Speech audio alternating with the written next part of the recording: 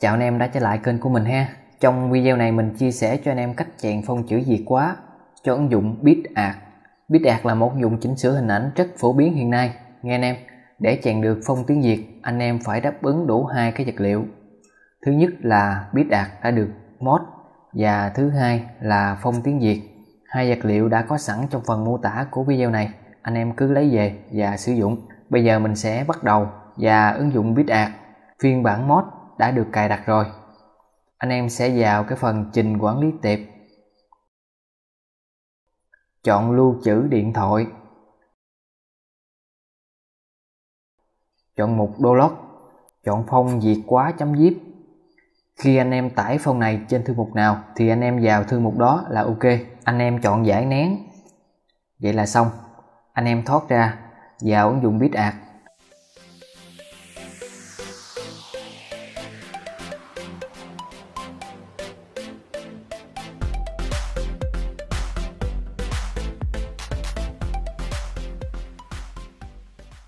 Bây giờ mình sẽ vào cái phần chèn chữ để kiểm tra về phông chữ của nó.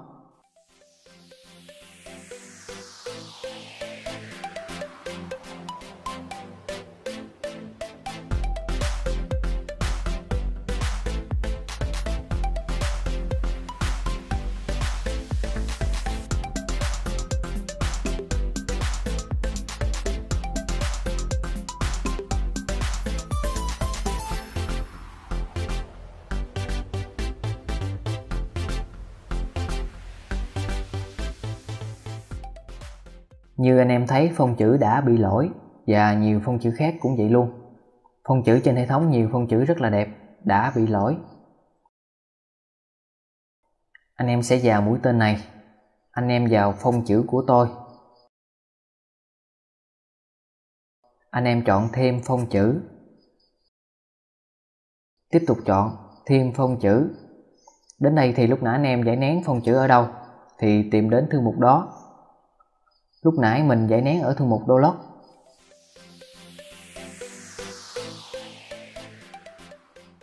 Anh em sẽ chọn phong Việt quá. Chọn phong. Anh em nhấn vào một phong bất kỳ. Anh em chọn 3 chấm ở đây. Anh em chọn tất cả. Chọn mở. Ứng dụng sẽ cập nhật tự động tất cả phông chữ này.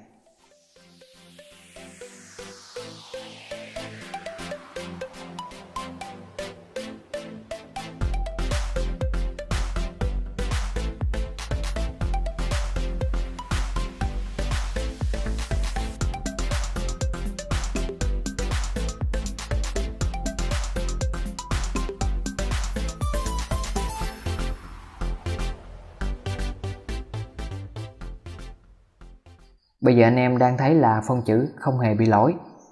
Tiếp tục một vài phông khác vẫn không bị lỗi luôn, rất là ok. Vậy là mình đã thêm phông chữ được rồi nghe anh em. Nếu anh em thấy thích cho mình một like, một đăng ký để ủng hộ mình. Hẹn gặp lại anh em ở những video kế tiếp. Xin chào.